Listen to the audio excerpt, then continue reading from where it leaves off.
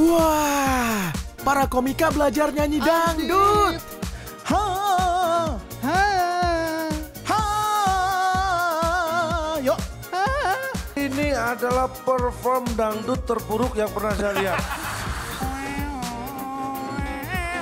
Joget bareng mereka yuk!